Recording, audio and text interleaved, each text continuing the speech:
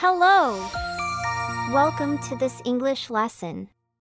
In today's video, we will learn more about Tom's week and what he usually does from Monday to Sunday.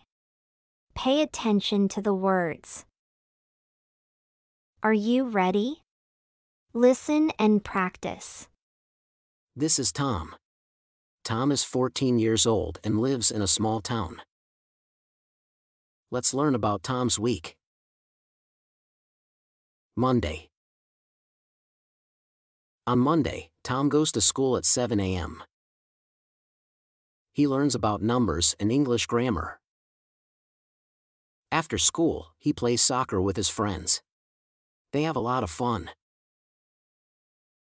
Tuesday. Tuesday is a special day for Tom. He has swimming class.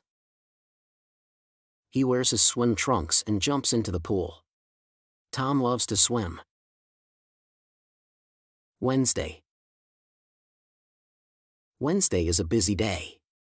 Tom helps his mom at home. He cleans his room and sets the table for dinner. Tom is a good helper. Thursday. Thursday is a fun day at school. Tom has art class. He colors and paints pictures. Tom's favorite color is blue. Friday. On Friday, Tom has a movie night with his family. They watch a scary movie and eat popcorn.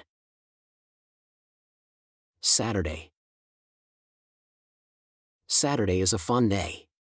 Tom goes to the park with his dog. Tom's dog, Max, runs and catches a ball. Sunday. Sunday is a rest day. Tom stays at home.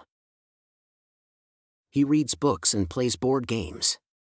It's a quiet day for Tom. And that's Tom's week. Tom's week is full of fun and happy moments.